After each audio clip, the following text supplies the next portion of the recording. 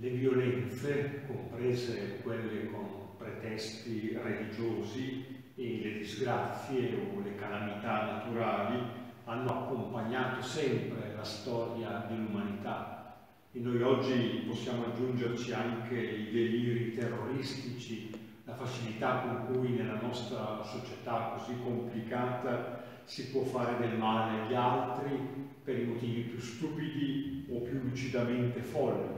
Nostra città, la nostra comunità di Crema ne ha avuto un esempio fin troppo eloquente nei giorni scorsi.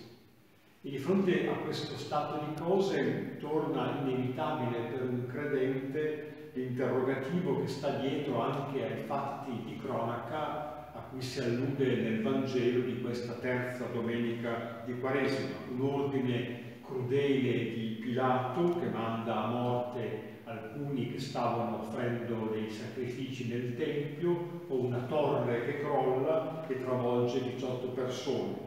E Dio dov'era? Cosa faceva?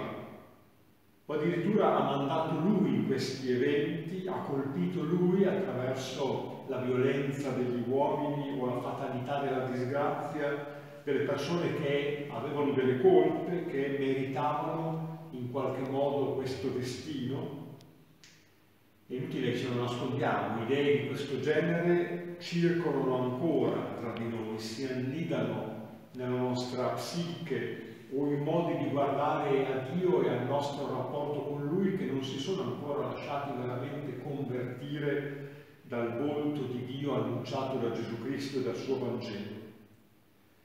E Gesù spazza via con decisione tutte queste concezioni che fanno di Dio una specie di pistolero vendicativo nel quale proiettiamo forse le nostre idee, le pulsioni e i desideri cattivi che ci sono nel nostro cuore, ma che stravolgono il volto di Dio. No, decisamente il Dio di Gesù non è così.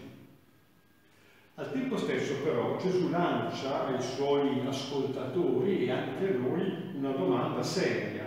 Che cosa ne facciamo del tempo che ci è dato, della vita che ci è donata.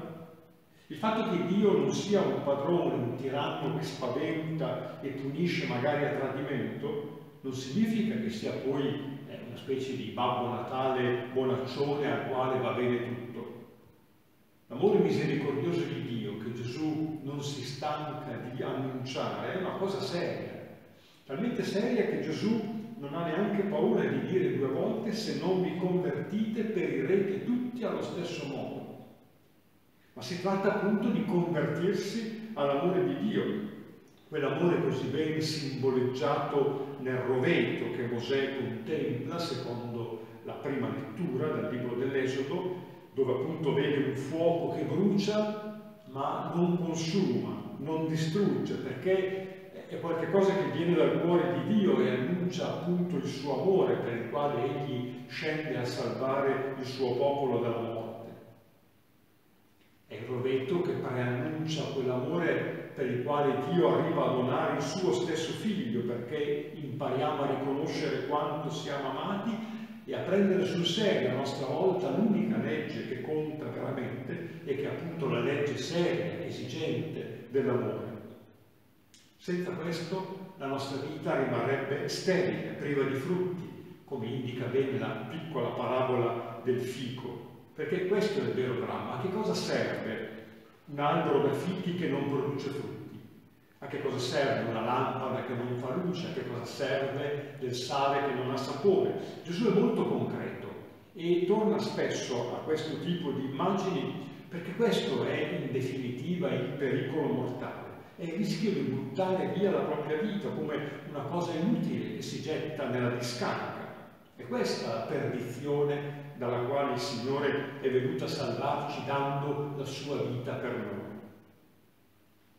Niente paura di un Dio che punisce, dunque, ma conversione seria al suo amore, accogliendo il tempo della misericordia che ci è dato perché la nostra vita non resti inutile o vana, ma porti un frutto abbondante.